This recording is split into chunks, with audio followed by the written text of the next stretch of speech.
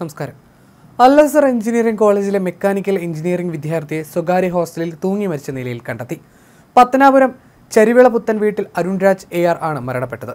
ഇന്നലെ രാത്രി പതിനൊന്ന് മുപ്പതോടെയാണ് മരണവിവരം പുറത്തറിയുന്നത്. ഒരു മാസത്തോളം വീട്ടിലായിരുന്ന അരുൺ ഇന്നലെയാണ് മടങ്ങിയെത്തിയതെന്നാണ് ഹോസ്റ്റൽ ഉടമ പോലീസിനെ അറിയിച്ചിട്ടുള്ളത്.